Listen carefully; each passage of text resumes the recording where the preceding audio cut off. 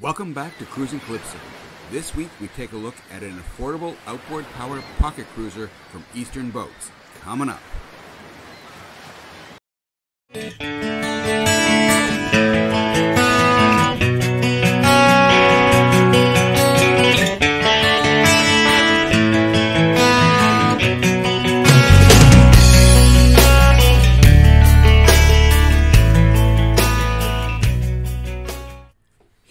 Calypso, we like to bring you cruising boats at, from different sizes and different price ranges.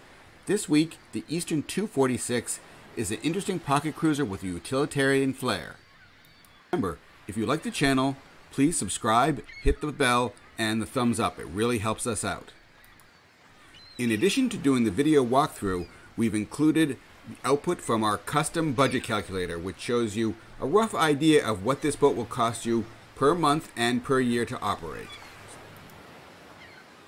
The Eastern 246 is a trailable pocket cruiser that's outboard powered with down east flare and good cruising room for a couple or a small family.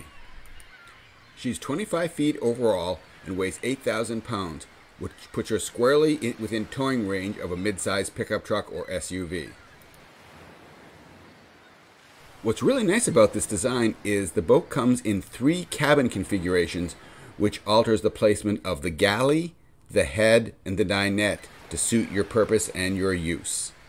In this case, you can see the head is all the way aft, which makes it a little bit larger, and the dinette is to port, in, with a galley to starboard. In this picture here, you can see the head is not is not present on the upper level and is down below in the cabin with the same uh, port dinette and galley. The boat can be powered by a single outboard motor anywhere from 150 to 250 horsepower. That should give her a cruising speed of anywhere from 18 knots to around 30 knots depending on the power you choose. The boat is equipped with a simple helm with throttle binnacle to starboard, a destroyer wheel, and an optional bow thruster, which with a single outboard would be highly recommended. The boat is equipped with a sliding door to starboard for the captain to get out and tie off a line, so really improves the ability to single hand this boat. Eastern offers a high degree of customization, including a number of options from AC to electronics package to fishing gear to make this boat suitable for how you want to use it. The boat offers a galley up arrangement to starboard, which has a two burner stove, refrigerator, and sink all you need for a weekend away.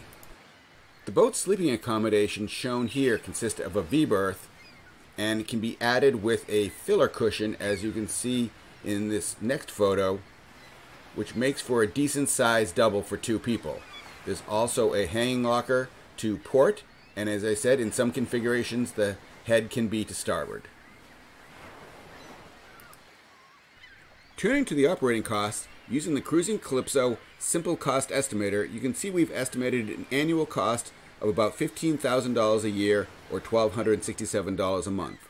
That's based on uh, putting this boat on a mooring with a small loan and 10% down and the usual expenses associated with boat ownership. If you're interested in this cost tool, please put a note in the comments and we can send it to you for your use. It's a simple Excel program that we developed and you can customize it to meet your needs.